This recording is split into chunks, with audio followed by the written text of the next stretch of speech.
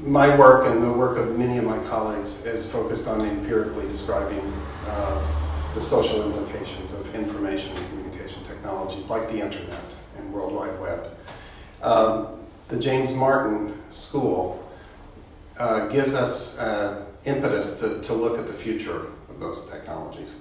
So we're going beyond sort of careful empirical research to say how can we stand on the stand on that research and, and look uh, into what are the likely futures.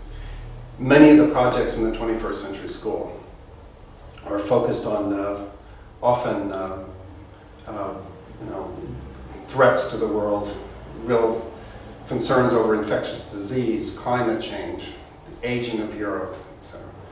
And information technologies are not a threat. They're generally, I mean, they're concerned over spam, viruses, but generally, information technology is one of the greatest opportunities for addressing almost, there's not one problem in the 21st century school that is not intimately tied to the use of information technology to, to underpin the research, to be able to explore, to see what's going on worldwide and climate change, for example. It's all embedded with uh, the use of new technology.